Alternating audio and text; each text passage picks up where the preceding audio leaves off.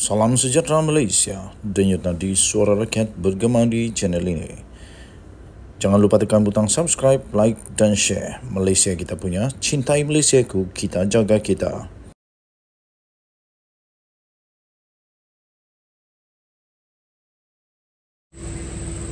Salam sejahtera Malaysia. Nampaknya Sanusi nampaknya agaknya ada takut sekarang ini kerana dia diajak untuk berdebat tapi dia tak berani pula nak berdebat tak setuju untuk berdebat.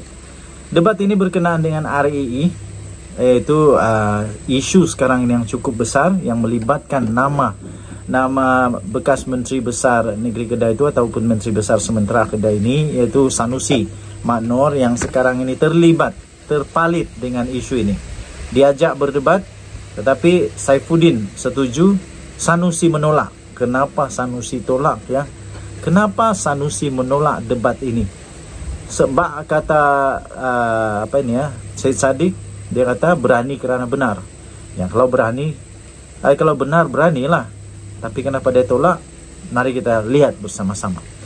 Personality TV iaitu Amin Idris memaklumkan tawarannya untuk mempertemukan dua tokoh politik di dalam isu kecurian bahan nadir bumi RII di pentas debat telah dipersetujui oleh Menteri Dalam Negeri Saifuddin Nasution Ismail. Bagaimanapun, Amin berkata tawaran tersebut tidak disambut oleh Menteri Besar Sementara Kedah Muhammad Sanusi Matnor. Katanya pihak Datuk Seri Saifuddin sudah bersetuju. Alhamdulillah. Dan tadi saya telah buat semakan susulan dengan pegawai Datuk Seri Sanusi. Dan beliau memaklumkan Datuk Seri Sanusi tidak setuju untuk hadir. Kan bagus kalau dia hadir, dia dapat bersihkan nama dia. Dia bersihkan uh, apa itu segala tumahan ke fitnah ke apa-apa. Orang boleh terus tahu dan boleh dapat undi lebih banyak. Tapi kalau tak berani tak tak lawan itu lebih ramai orang bersakwa sangka. Uh, begitu saja. Uh, walaupun begitu Uh, beliau berkata saya mohon semua hormati keputusan beliau. Ah tak apalah kita hormatilah keputusan Sanusi. Cuma saja kita nak tahu kenapa dia tak berani. Dia tak mau. Ah kemarin pengacara itu menawarkan diri untuk mempertemukan Saifuddin dan Sanusi di pentas debat. Amin berkata selepas dia melihat Sanusi yang juga pengarah pilihan raya PN itu diasak bertalu-talu dalam isu kecurian RII di negeri yang ditakbirnya. Ha, kesian juga. Sebab itulah rasanya si Amin ni nak tolong Sanusi supaya di pentas debat dia boleh uh, tawarkan kebenaran. Uh, dia boleh uh, timbulkan kebenaran keluarkan kebenaran yang sebenar. Kesahihan cerita. Jadi semuanya dapat dirungkai dengan baik. Tapi nampaknya Sanusi tak setuju nak hadir. Menurut The Amin Idris Show yang disiarkan di media sosial mencadangkan tarik debat itu pada 7 Ogos depan. Uh, kemarin lah agaknya tapi uh, bergantung kepada persetujuan kedua pihak. Tapi akhirnya Amin berkata uh, tidaklah tidak tidak dipersetujui dan mengulas lanjut. Amin berkata pihaknya mengucapkan ribuan terima kasih kepada kedua-dua pihak yang bekerjasama dengan baik dalam memberi respon. Katanya saya doakan yang terbaik untuk Datuk Seri Sanusi dan Datuk Seri Saifuddin. Terdahulu Saifuddin mendakwa Sanusi yang menerajui Perbadanan Menteri Besar atau MBI Kedah mengetahui kegiatan mencuri RII yang berlaku di Bukit Engang di Sik. Saifuddin mendedahkan gambar-gambar Sanusi bersama-sama dengan seorang warga China yang dikendaki oleh pihak berkuasa berhubung dengan kes kecurian sumber nadir bumi di Kedah. Sebelum ini Sanusi menafikan mengenali warga Cina itu tetapi kemudian mengakui pernah bertemu dengannya selepas Saifuddin mendedahkan gambar perjumpaan mereka. Bagaimanapun Sanusi berkata dia tidak terlibat dalam urusan perlumpungan itu kerana urusan warga China berkenaan dengan pejabat tanah dan galian Kedah dan Menteri Besar yang diperpadankan atau MBI. Sanusi kemudian mengaitkan isu tersebut dengan Perdana Menteri pula Anwar Ibrahim. Untuk rekod, Menteri Ekonomi Rafizi Ramli pernah mempelawa Sanusi untuk berdebat menjelang pilihan raya negeri yang melibatkan Kedah serta lima negeri lain pada 12 Ogos ini. Bagaimanapun, Sanusi yang digelar Panglima Perang PN oleh setengah pihak itu menolak cabaran itu dan berkata tidak akan mengubah kedudukan negara. Dia dan berkata tidak akan mengubah kedudukan ekonomi negara. Sekurang-kurangnya dapat memberbetulkan lah Okey, berani kerana benar? Nah uh, itu saja.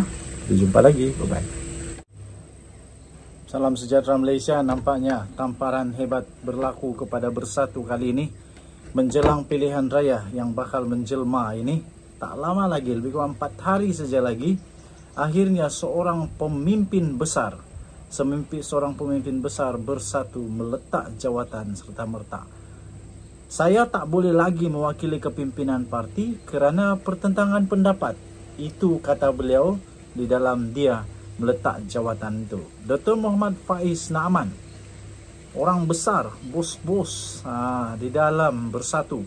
Dr. Muhammad Faiz Naaman pada hari ini mengumumkan peletakan jawatannya sebagai ahli Majlis Pimpinan Tertinggi atau MPT Bersatu termasuk berhenti sebagai ahli parti itu. Maknanya dia keluar keluar parti bukan saja meletak jawatan tapi keluar parti. Beliau turut mengutus surat kepada Presiden Bersatu yaitu Tan Sri Mahyadin Mak Yasin pada hari ini mengenai keputusan itu. Dalam surat berkenaan, beliau menjelaskan bahawa keputusannya itu adalah secara sukarela dan tanpa dipengaruhi oleh mana-mana pihak. Beliau berkata, keputusan saya ambil ini tidak dipengaruhi oleh mana-mana pihak. ah, excuse me.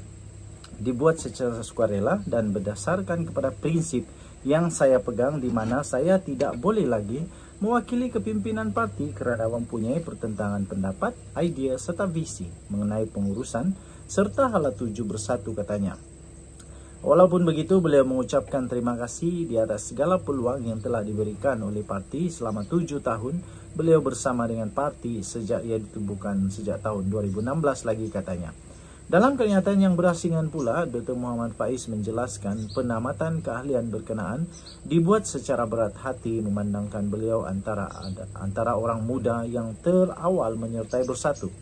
Mengakui memainkan peranan secara aktif selain uh, ter, uh, beliau juga adalah walak terhadap saf kepimpinan parti, beliau sedar jarang diberi peluang serius untuk diperkasakan sebagai pemimpin pelapis Walaupun pada ketika itu bersatu memegang tampuk kuasa dalam kerajaan pusat sejak 2018 hingga 2021. Beliau juga mendakwa bersatu sudah terpesong daripada objektif awal penubuhannya yang kononnya untuk menggantikan AMNO dengan memberi lebih ruang kepada ramai anak muda dan muka baru terutama mempunyai latar belakang bersih yang berkedudukan akademik dihormati dan mereka yang setia kepada parti daripada mula. Katanya keputusan kepimpinan parti yang seringkali mengabaikan suara akar umbi pengasas awal dan teguran jentera bawahan menyebabkan bersatu mengalami kekalahan pada pilihan raya negeri Melaka dan Johor sebelum ini katanya. Sejarah itu juga bakal dilihat bakal berulang dalam PRN di enam negeri terutama untuk kerusi bersatu dalam PRN Selangor sekarang ini katanya. Tambahnya lagi, pemilihan calon yang berat sebelah kepada pihak kartel tertentu serta calon bidan terjun yang baru dijadikan ahli parti hanya semata-mata untuk dipertandingkan dalam PRN Selangor telah menyebabkan terjadi pemberontakan lebih kurang sembilan bahagian bersatu di Selangor katanya. Mengulas tentang pemberontakan dalaman itu, beliau berkata ia mengakibatkan insiden membakar bendera Perikatan Nasional secara terbuka sebagai tanda protes akar umbi terhadap percaturan jawatan kuasa pemilihan dan saringan calon yang bertanggungjawab terhadap penamaan calon PRN. Dakwanya lagi, protes tercetus uh, kerana jawatan kuasa berkenaan mengabaikan sentimen penerimaan pihak bahagian dan jentera di lapangan. Katanya lagi malah kelemahan lembaga disiplin parti yang lambat dan banyak kerana telah menyebabkan watak-watak yang telah keluar dan mengkhianati parti dalam pilihan raya umum PRU 15 lalu boleh kembali dan mendakwa dirinya masih ahli bersatu untuk dipilih menjadi calon Perikatan Nasional pada PRN ini katanya. Justru tambahnya tidak menghairankan jika bersatu tidak lagi menjadi wadah tumpuan penghijrahan mereka dari parti lain atau menjadi sasaran kemasukan anak muda serta orang baru dalam politik memandangkan kerapuhan sistem pengurusan keahlian kedudukan MPT katanya lagi. Pada PR15, Dr. Muhammad Faiz pernah bertanding mewakili PN bagi kerusi Parlimen Bagan Datuk dalam pertembungan empat penjuru dengan penyandang kawasan itu iaitu Datuk Seri Dr. Ahmad Zahid Amid di BN, Datuk Seri Samsul Iskandar Muhammad Akin PH dan Taufik Ismail bebas. Bagaimanapun, beliau telah tewas di kerusi itu apabila hanya memperolehi 8,822 undi. Denyut nadi suara rakyat bergema di channel ini. Bye-bye. Salam sejahtera Malaysia. Lebih 600 ahli bersatu di Dungun. Lebih 600 ahli bersatu di Dungun tinggalkan parti dan menyertai AMNO. Goodbye Muhyiddin Yassin. Timbalan Ketua AMNO bahagian Dungun iaitu Nur Hisham Johari di dalam gambar itu menyarungkan baju parti kepada bekas Ketua Cawangan Bersatu Gong Pasir, Saidi Abu Bakar yang mewakili Jamaluddin Jaya yang kini menyertai AMNO pada majlis penerimaan lebih 600 bekas ahli bersatu untuk Dun Rantau Abang yang menyertai AMNO di pusat daerah mengundi PDM Taman Permin Indah pada hari ini.